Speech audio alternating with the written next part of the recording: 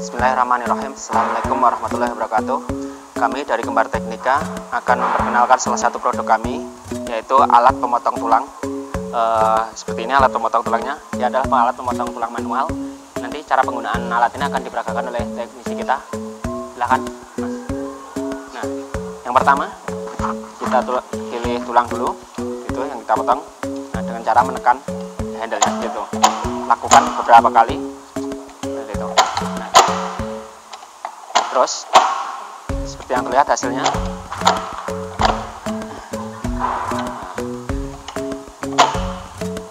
Nah alat ini terbuat dari stainless plat stainless sus 304 dan dari pisaunya sendiri dia dari HSS bisa dilihat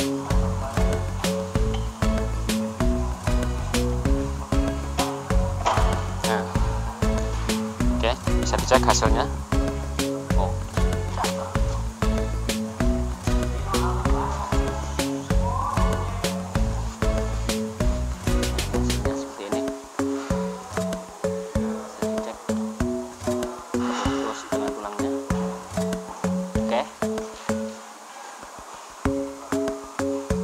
oke uh, demikian tadi uh, pengujian alat kita dan cara pemakaian produk kita.